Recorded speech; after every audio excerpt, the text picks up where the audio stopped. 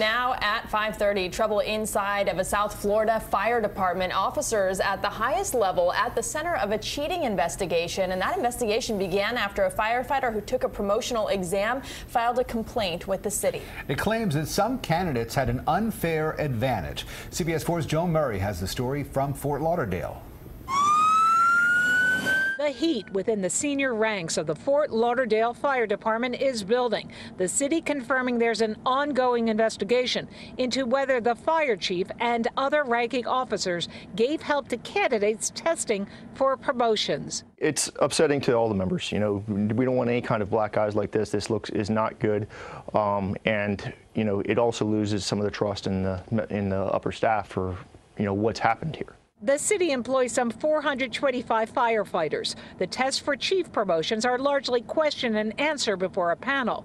Chief Robert Hoecherl, who declined to be interviewed for this story, has been in charge since 2013. I have complete confidence in Chief Hoecherl at this point in time. So far, Mayor Jack Seiler says there's no proof of any wrongdoing, but it is a search for the truth. We believe that people should uh, be promoted, people should uh, rise up through the ranks or come up through the ranks based on merit, based on ability, based on those factors that make you know um, great leaders and, and eventually great fire chiefs.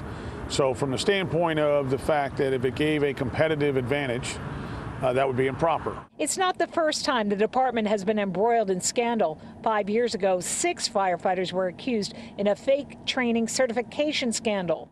We don't know when this investigation will be over. If it's unfounded, look for little change. But if there is any substantiation, look for big changes at the top and how tests are administered. In Fort Lauderdale, Joan Murray, CBS 4 News.